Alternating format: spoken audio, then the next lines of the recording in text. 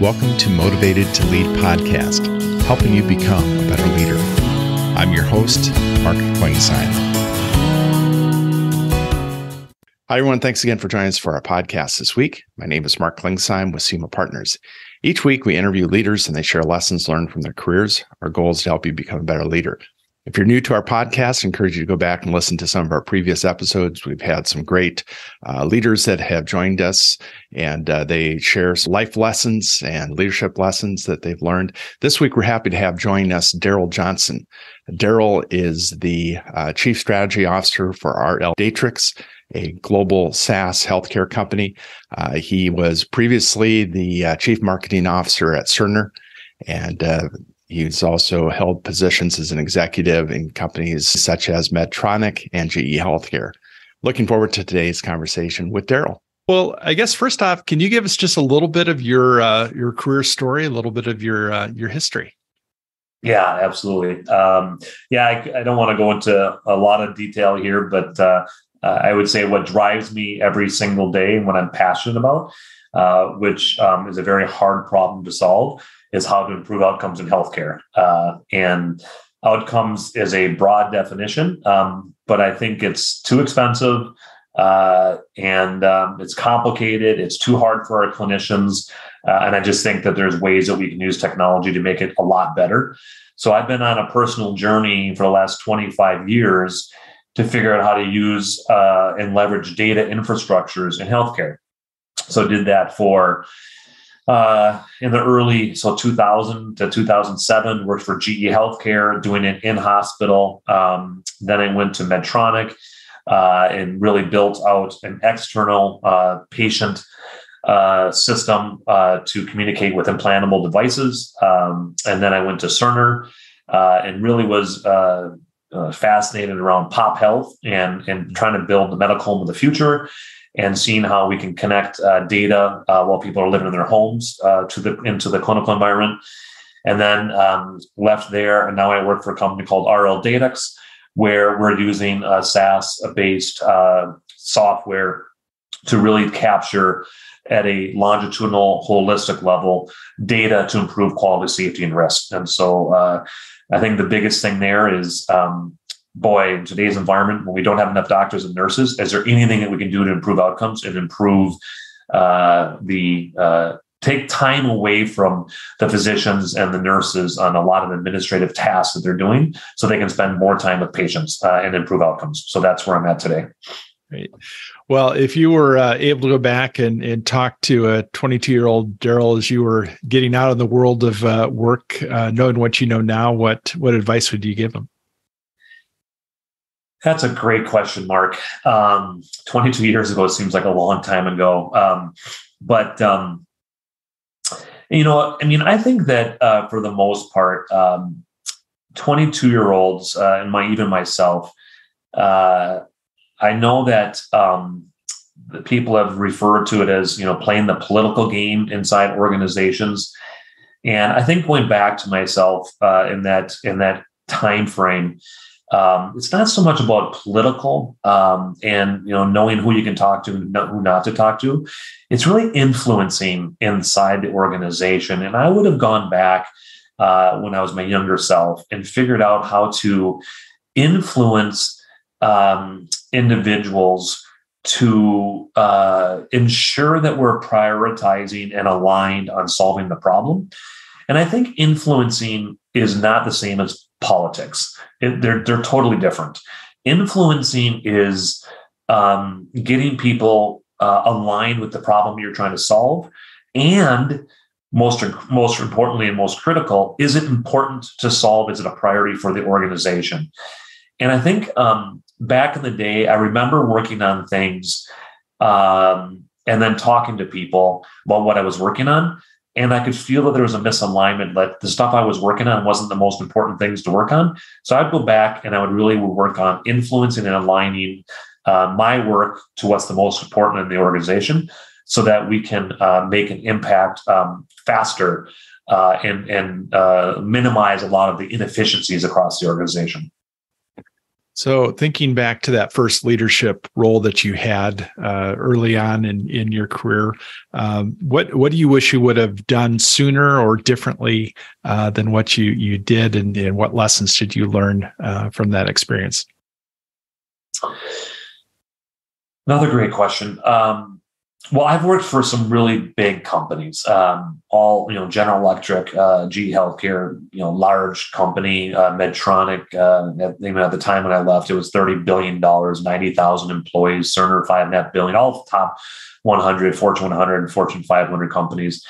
And um, you know, I look back at it, and uh, I think what I would have um, in my first leadership role, I would have made sure that uh, I said no more often, mm-hmm. uh, took stuff off the plate. Uh, I think there's just this this common you know tendency that if somebody asks for something, you just put it on your plate and you do it. And I think as a leader, um, it's it's my responsibility. And protect's not the right word, Mark, but you want to make sure that your team is set up for success and I understand that there's times where you got to burn the candle on both ends and you might be pulling in some 60 hour weeks. But boy, if you do that for a long time, you lose um, your team and your team gets burnt out. And so, uh, as a leader, I would have gone back and I would have made sure I said no more often. Or if it was a yes, it had to be a yes. What could I take off the plate and protected the team for success to be set up for success and not burn them out? Um, because I think at the end of the day, when you just keep on saying yes and adding it to the plate, um, then you kind of create um, kind of a chaoticness in the organization. And I just think as a leader, I wish I would have learned that earlier because um, now I push back a lot more and uh, we do the most important stuff. And if something's more important, we'll take something off the plate and do something else. We'll be that, at, we'll work in an agile mode.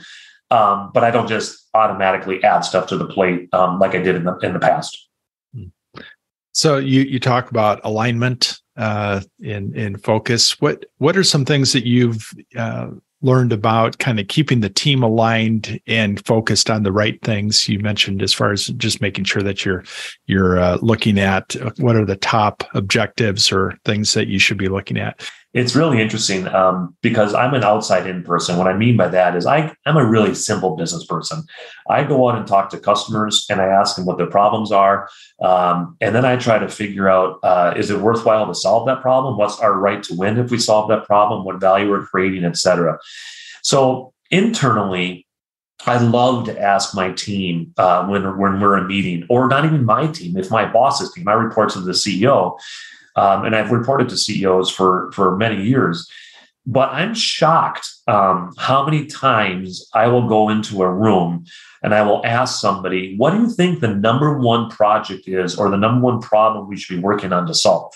And how often you get ten different answers. Mm. And when you get ten different answers, five different answers, whatever it is, you're going to have chaos.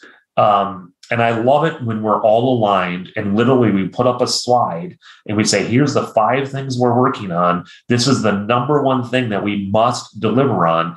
And when everybody's aligned on that number one thing, including the CEO of the company, that is a good place to be. Um, uh, and so I really, really strive to make sure that I ask everybody. And then here's the other thing that's that's most important about that, Mark, is that there's two other components of that. You've got to tell people why it's the number one thing that you're working on that. And number two, how their role in the organization is important for us to deliver against what we're trying to deliver. Because everybody wants to be connected to purpose, everybody wants to be connected to impact, and they want to know what are we working on, why is it important, and what's my role in in in solving that. And if you get all of that alignment, um, and you deliver and execute with in, incredible transparency, uh, in communication, it's a good place to be. So you've been in some very large uh, organizations, um, and every organization has a culture, uh, but also the culture is impacted by the leader within a, a smaller group uh, within that company. Uh, how did you? And I'm sure there are times that you came into a situation where you inherited a team, and maybe the culture of that team wasn't healthy. What are some things that you've done as far as to maybe change culture or to to help improve it?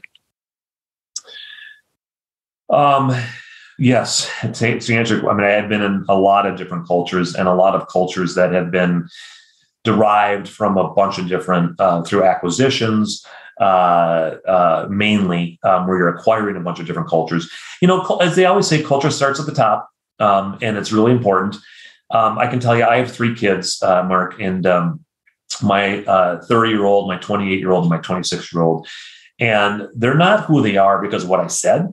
They are who they are because what I did and what they watched me do. Um, and I think as a leader, uh, you can sit out there and you can say all the things that uh, a leader read out of the latest book and they said this is what you need to do to be an effective leader. But if you don't do it um, doesn't matter. Uh, so uh, i think what i try to do is i try to point out to um, within the leaders of the organization my peers within hr how we might have um, incongruency between walk and talk uh, because if there's incongruency, your culture is going to be um, kind of a big mess. And you'll see in every company, you'll see your value statements and your, you know, they'll be posted on the walls and here's our values and here's our behaviors and all that type of stuff. Doesn't matter if you don't walk them and you don't actually exhibit them. Um, it's, I mean, it, it's not going to go well. So I think from my perspective, um, what I do try to do culturally is I try to make sure that uh, people understand the purpose of our company externally. What are we trying to do to drive value, to improve something that gives us purpose? And then internally, I try to make sure that everybody feels a part of the team and they're contributing to the greater purpose of what we're trying to deliver to our customers. Um, that to me is, is number one.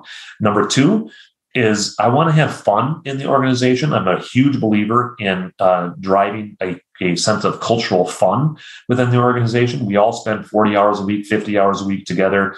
You got to have a little fun along the way um, because if you don't, then it just is. Um, it just becomes uh, a hard place to show up every single day if you feel like you're grinding everything out and you're not building building the team. And then the third thing is is that people want to come to an organization and they want to feel like there's a path for them to develop their career. And uh, culturally, I want to make sure people feel like whether it's in my organization or outside of my organization, I want to make sure I understand what are people's aspirations, um, where do they want to go in their career, and then I figure out how I can connect them throughout the organization. If they want to be in marketing, fine, we'll get them in marketing. If they want to be in strategy, fine, we'll figure out how to be in strategy. If they want to be in sales, we can figure out how to get them in sales. But you got to take uh, uh, some time to really connect with people to help them develop their career and then connect them in the organization so they feel they have the best career possible uh, in the organization. I think if you can do those things within your organization, you're going to culturally multiply and have a successful organization where people will want to stay and work uh, within your organization. I know you've been responsible for marketing uh, at a high level within uh, within organizations, and I think there's a misconception by leaders is what, is marketing? You know, what what is how does it fit within the overall strategy of the, the organization? Can you talk a little bit about that? I think you had mentioned uh, in a previous conversation that there, are, I think it's four questions that you look at as far as as you're you're looking at marketing and how you connect it to the overall vision. Yeah, there's. I personally believe there's a huge disconnect, um, and and a lot of. Um, I, I, was a chief marketing officer for for Cerner, and um, I think the a lot of times the, the marketing circles they they talk a lot about uh, your digital footprints and they talk about your brand they talk about how you do campaigns and lead generation and value messaging and all that type of you know your events uh, which all of that stuff is is really important. Um, but I think um, uh, there's another half of the equation that I think a lot of people forget about. And I'm an end to end marketer. Uh, and what I mean by that is uh, I always, always consider what the four questions you're talking about. I always consider what problem are we solving for our customer? Uh, that's always the very first question. If you can't articulate uh, as a company why you exist and what your value proposition and what problem or what value you're bringing to your customers, you got a big problem. And I don't care what kind of marketing you do from a brand perspective and a messaging perspective. That's like the basic of the basic of the basic. Um, and you'd be amazed how many times I sit in a room and I'll listen to a presentation, and 20 minutes in, I'll raise my hand and I'll say, I don't understand what problem we're solving for the customer. Mm-hmm. And you would have think you would think that I would ask people to solve the Rubik's cube and put all the colors aligned within 10 seconds because they look at me like I asked them a really complicated question, but it's a really easy question. So what problem are you solving? The second thing that follows that, which is really, really important, what is our right to win to solve that problem? And again, I've been in, in organizations, I've been with board of directors, I've been in a lot of very high level meetings, and I will see slides where uh, we think we we thought that it was our right to win against multiple multiple billion dollar companies uh, that had you know massive market share in a space. And it just wasn't going to be reality for us to win in that space. So what problem are we solving? What's our right to win um, third is can we measure the value that we're going to create for the customer when we solve the problem? You need to have that because that's at the end of the day, especially in healthcare, you have to speak value because they don't have any money. So if you don't speak value and what dollars you're going to create for them, um, you're not going to necessarily get in the boardroom. That's a necessity. And then the last one, which has become more prevalent, I would say, in the last 10 years, and Jeff Bezos is, is phenomenal at this. Uh, Steve Jobs was phenomenal at this.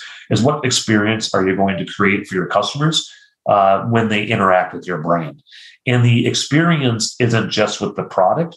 The experience is in every any interaction that they have with your, your tech support, your education, your training, your implementation, how they use the product, um, your quoting process, your invoicing uh, process. It's it's all the things that come in to give you that experience. Those are the four questions that I ask on a regular basis. And there's no way you can be a successful marketer if you don't look at that end to end. Um, because yeah, fine, do the value messaging, but until you go all the way upstream before you invest one nickel in innovation and your R&D, you better answer those four questions mm. To prepare you to go to market so you can be a, a, an effective marketer. So you've uh, you've probably read a number of business books, and there's always seems to be new trends or new new concepts that are out there. But uh, are there any books that you recommend to other leaders that you feel like have some timeless advice or uh, something that would be helpful for somebody that's kind of a new or up and coming leader? You know, it's funny that um, that you asked, and the reason I was chuckling is that um, there's so many times in my career where I thought a book was like a really great book, and then I'll pass it on to somebody and I'll I'll ask them what they thought about it, and they didn't nearly get the same reaction that I had when I read the book. So sure. it's kind of like when you go to a movie. I'm sure this happens to you, Mark, and somebody will say, "Hey, you got to go see this movie," or even on Netflix, you got to watch this series. Um, and I'll start watching it, and I just like I can't get through it. I don't like it. So um, so I think that's a, a very personal question. Um, but I would say that um, what I think that this world is really void of is phenomenal leaders.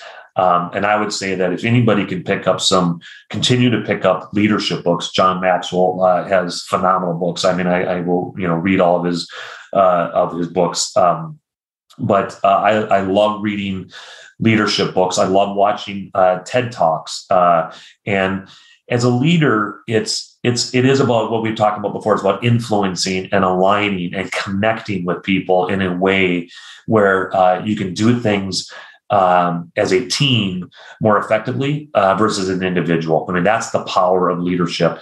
And I just unfortunately see, and I'm sure you see this, Mark, and I'm sure your listeners see this, that there's this big void of effective leaders, um, which is just it's too bad. Um, so I would say that for the listeners of this podcast, go out there and read some John Maxwell books, go out there and read some leadership books. Um, and watch some TED Talks. Uh, they're only 15 minutes long. Try to figure out how you can influence uh, in the organization and get people to listen to you um, and do it in a way that impacts um, the effectiveness, not only of you, but of your team. Because that to me is uh, really one of the really critical voids uh, right now in business. So you've been managing, and you know everybody that wasn't using Zoom or uh, wasn't on it prior to COVID have found that a lot of their meetings are taking place this way, kind of through through uh, the technology. Uh, how have you kept your team? And you've got a team that's spread out all over the place and uh, in different time zones. Uh, but how have you kept your team together, even those that have been working virtually? Is there anything that you've discovered that's been helpful as far as just to keep everybody again going back to that alignment, uh, working virtually? Yeah, I think um, you know, going into the office, um, you know, and seeing people, you know, physically face to face, there's just the uh, the opportunity to do chit chat, you know, and just connect. Um, and I don't care what it is, you know, if, if, if, you know, here in Minnesota, you're talking about the Minnesota Wild. I've been a big hockey fan, so I like talking about hockey or, you know, you can, it's a beautiful day. Hey, did you go golfing this weekend or something like that? Um, and for whatever reason on the Zoom side, um, it's so intimidating to have those types of conversations because all of a sudden you get on a screen and there's seven people staring at you and all of a sudden everybody kind of we lose that social connected tissue right. because it feels like there's 14 eyeballs staring at you and it feels like you know versus a one-on-one kind of just off on the side talking about somebody's you know um, you know child's you know uh, you know football game or hockey game or or something that was going on in there you can do that on a side by side versus seven people you know in this zoom call so I have found that um, you got to still do it. You got to have fun. You got to laugh. You got to tell some jokes. You got to be able to connect with people and take those first few minutes to do it, even when it feels really awkward that you have all these people staring at you. Um, because again, we spend 40, 50, 60 hours a week with each other. Uh, and, and there's more important things than P and Ls uh, inside business. Um, it, there's you know, there's families and families that have uh, you know, I've known people that have lost loved ones in, during COVID, and people that have had some tragedies in their lives, and pre- a lot of lot of unfortunate things going on. And um, you got to support each other through some of this tough times. And if you kind of blow over that and go right into the Zoom meeting, and you miss all that stuff, then then it's um, you have a risk of losing that connectedness of your team. The other thing too that we started doing, um, which I um, thought was kind of fun is, you know, once a month, just rather than have a meeting, do a 4.30 in the afternoon social hour and have people get on a Zoom call. And rather than doing a meeting, just get on there and, you know, have everybody have a cocktail or, you know, a soda or something like that and just um, socialize with people and just get together for 15 minutes, 30 minutes and wish each other, you know, a great weekend um, and, and do that once in a while too, just to have a little bit of fun. Um, but uh, I would we just got to be a little more creative in a world that's going to be hybrid and virtual uh, versus you know always coming to the office. So outside of work, what do you do to to recharge? You mentioned hockey. You're a hockey fan.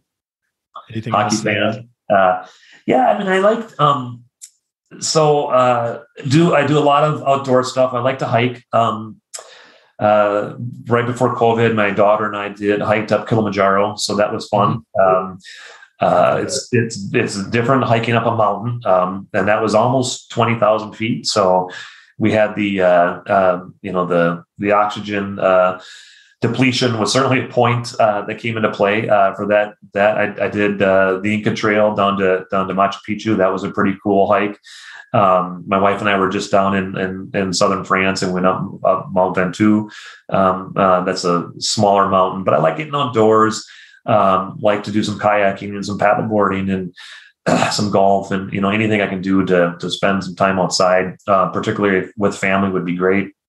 Um, uh, I do do a lot of reading. Um, I'm I'm probably uh, a little bit on the nerdiest side when it when it comes to you know uh, being a, a, music fan or a you know kind of a you know a Netflix series fan. I, I tend not to do more of that, but do more reading. Um, but um, uh, but those are the things I, I tend to enjoy.